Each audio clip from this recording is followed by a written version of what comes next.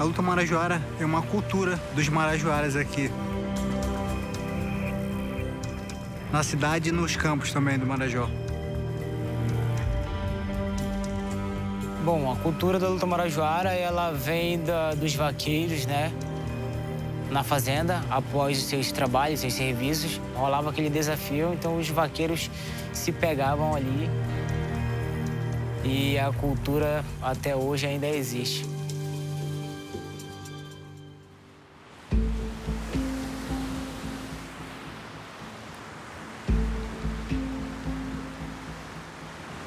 Ah, a luta marajoara eu pratiquei desde muito cedo, cara. Desde muito criança. Eu acho que eu tinha uns nove aninhos.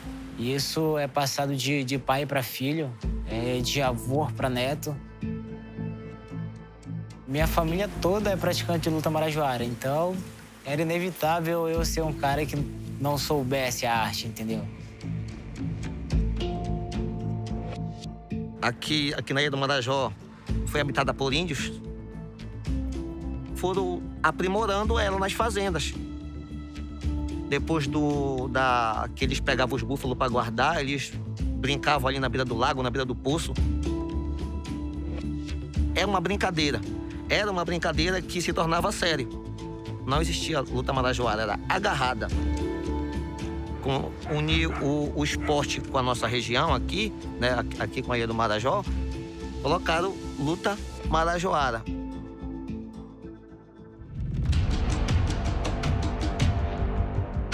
Imperial é um grande praticante de luta marajoara aqui na cidade de Souri, levando o nome da luta marajoara e ele também está mostrando, porque, porque o objetivo da luta é, é colocar a costa do adversário ao chão.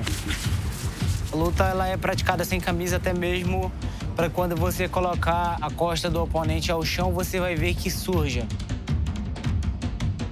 Você tem jogadas e pode até se machucar numa dessas. Então, melhor na areia onde você não se machuca. A regra da luta marajoara meio é só golpe baixo, nem meter dedo no olho, mas que o resto pode quase tudo. A tradicional é a luta marajoara bruta, né? É onde vale algumas quedas que poderiam, tipo, contundir um atleta, a ver levar até óbito. E então, com a esportivizada, essas quedas foram tiradas e ficou já as regras. Cinco minutos né, para não levar um tempo muito árduo. E outras regras que foram sendo criadas para ajudar, né? Esportivização da luta marajoara. Ah, bora Imperial! Bora Imperial! Bora Imperial! Sendo que alguns golpes dessa queda são baseados na natureza. O início da luta marajoara é como se fosse um búfalo, quando estão brigando chifre com chifre, vocês podem ver que é agachada, entendeu? Tem um jacaré, e quando o cara tá embaixo, ele gira, Flanagan Azure para Brasil. Jameson, Deus da Guerra, Figueiredo.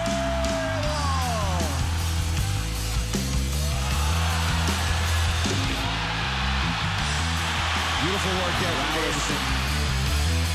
Eu não sou. Gente, eu e meu irmão, nós não começamos no wrestling, nós começamos no luta marajoara. Então a gente já tem aquela base.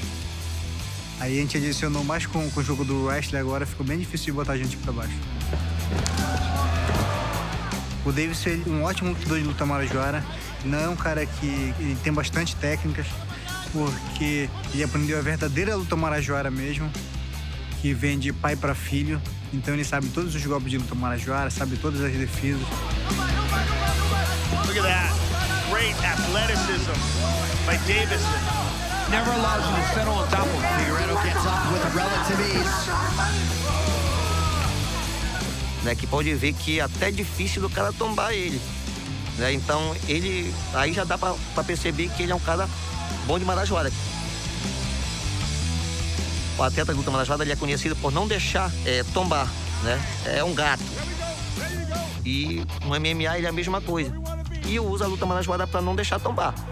Dynamic stuff there from Figueiredo. É, elas me deixam aí um cara muito mais ágil e fazer com que o meu adversário não espere, aplicar os golpes não esperados por ele. Essa concentração, né, cara, essa, essa pegada, essa, essa ignorância, essa, essa, essa agilidade de chegar ali para fechar o caixão, terminar logo a luta. Isso vem da luta marajoara.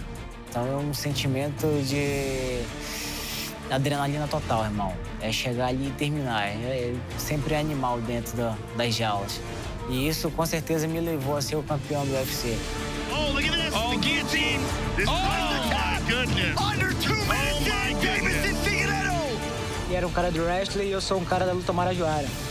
E quando ele pegou minhas pernas ali, ele tentou me colocar para baixo e eu usei muito bem a defesa da minha luta marajoara. De imediato eu fiz uma variação ali pro, pro jiu-jitsu e deixou o pescoço para mim. Davidson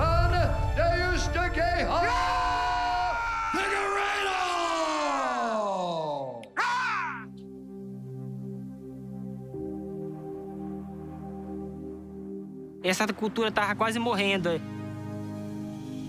Agora, graças a Deus, o nosso amigo Davis tá levando a mundo afora aí a nossa cultura e se Deus quiser vai para frente.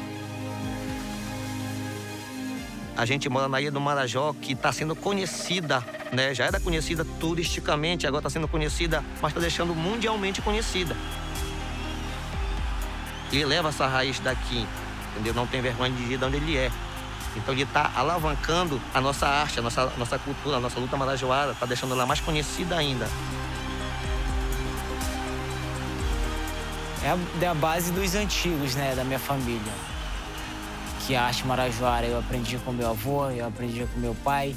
E eu quero manter muito vivo essa arte. O nome dele sempre esteja em altas, né, no esporte. E até mesmo a luta marajoara, né.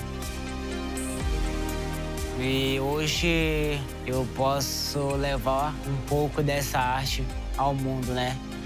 No UFC, vencendo os principais caras do wrestling, usando a minha luta marajoara.